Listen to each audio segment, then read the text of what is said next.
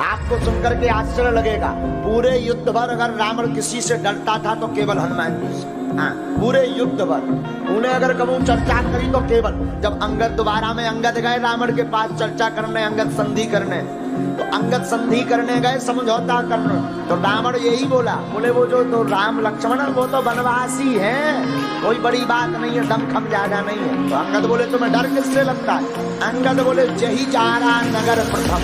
इन्हें पहली बार आके आग लगाई हूँ तो न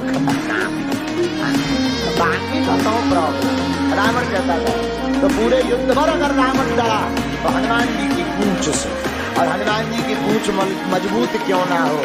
जिसकी पूछ राम से हो, उसकी पूछ मज़बूत क्यों ना हो?